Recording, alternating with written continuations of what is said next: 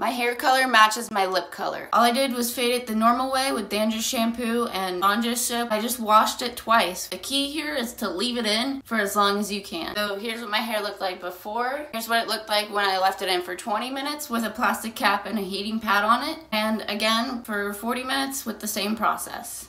I could have left it on longer, but I had a busy schedule this week. I wanted to wait until after Thanksgiving to start fading it because I had a feeling that this would happen. The reason I think it's this dark gray here is because I had the blue underneath of it and the brown is just faded so we're left with like this dull brown almost gray color I hate it I hate it. So I could wash it again for a third time, but I think what I have left, I'm to use Color Oops because I know that Color Oops removes red pigments very, very well, but they don't remove blue pigments very well. And later on in the video, we're going to be testing out some new products. I have seen these at the store many, many times, the Hairitage line, but I have never tried it, so we're going to test these out as well. I cut the tip off in another room where I had scissors, and that tip went flying. I have no clue where it went. One thing I always forget to do when I'm doing Color Oops is you switch this cap out for the flat cap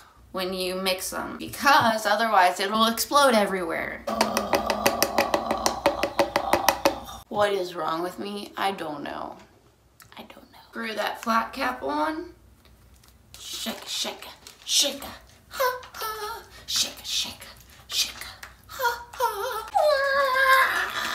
And you want to slowly open that so it doesn't explode. Put this back on. Let's just start at the roots like this and get, oh, it's in my face. Just scrubbing it into my scalp. Then I'll run my fingers through it and run it down to those ends. I'm hoping this Color Oops doesn't do anything to the blue underneath, but it's looking like it might actually be turning it green. Ay, ay, ay. My luck with Color Oops. Put this cap on and I'll see you guys in 20 minutes. Hey, so my hair turned green.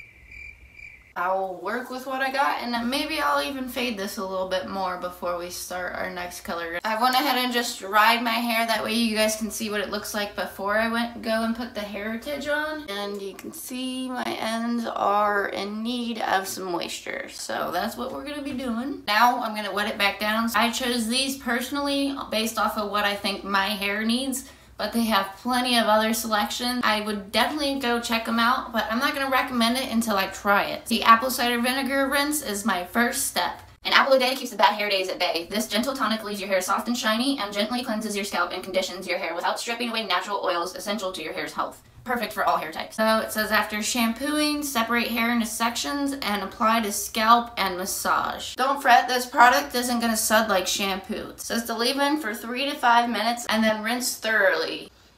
No offense, but it kind of smells like an older lady's perfume. It says the section, but I'm just applying it like I did the Color Oops, just squeezing it all over my scalp. It didn't give you any like measurements on how much to put on it. Sulfate free, fill P-H-T-H-A-L-A-T-E. Uh, t.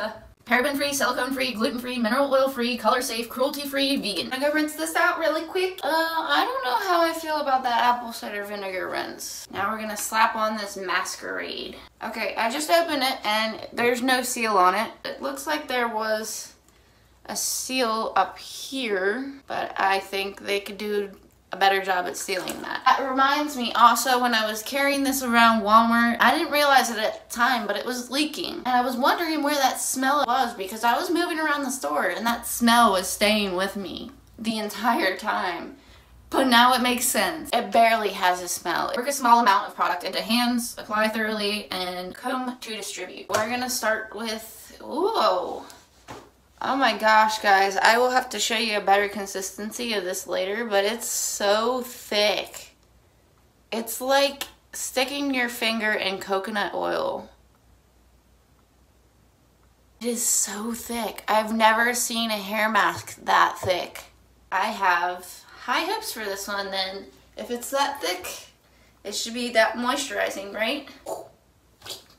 It's like glue almost like hair gel. It's literally so thick that I can't even run my fingers through it. I don't know how I'm supposed to get a comb through. I'm definitely using a wide tooth comb for this, not a fine tooth one.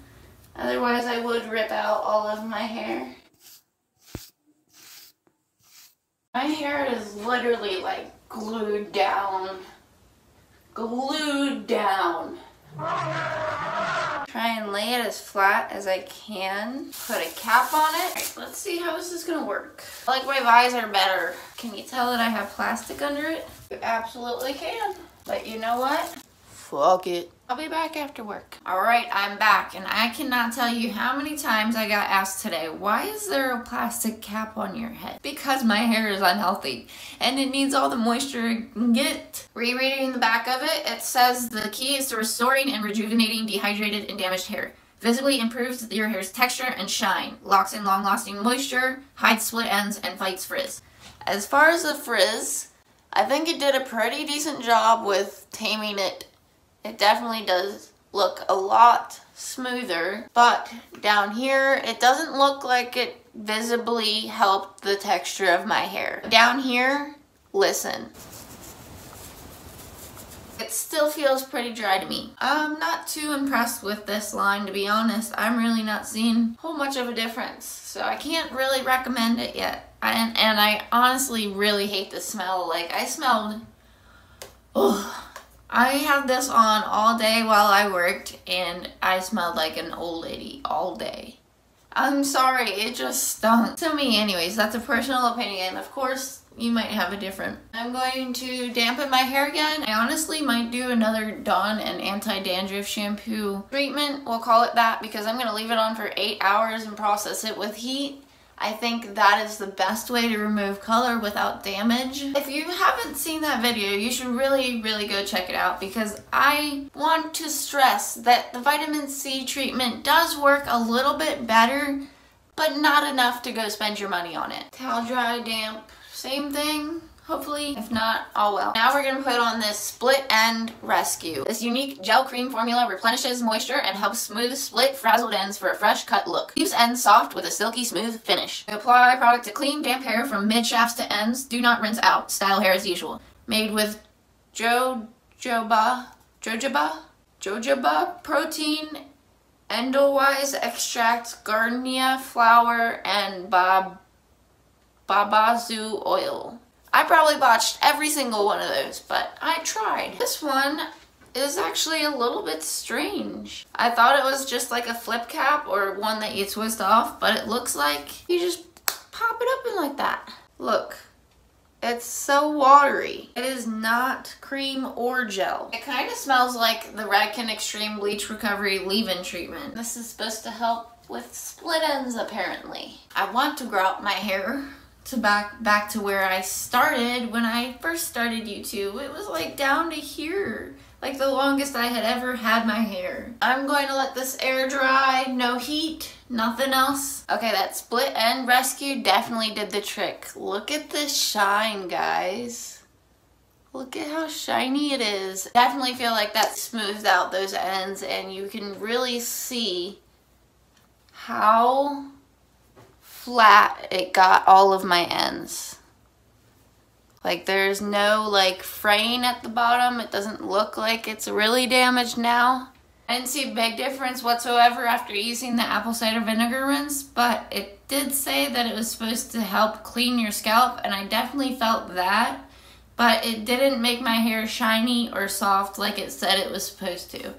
So this one I think I'll pass on recommending. Six hours I kept this masquerade on and I felt barely any moisture after I rinsed it out. So I'm very disappointed in this one. They can do better on this for sure. The split end rescue, it's okay, but I still think my top favorite hair care brand is the Redken Extreme Bleach Recovery line. That is like a lifesaver for my hair. I kind of like the way it faded because I have like these two yellow pieces underneath here and it just kind of gives it like a pop of color. Now I have no clue exactly what I'm going to do for my winter slash Christmas hair colors. I guess we'll figure that out in the next video. Thank you so, so much for watching. Remember to keep your heads up and have a great day. I'm like, oh shit.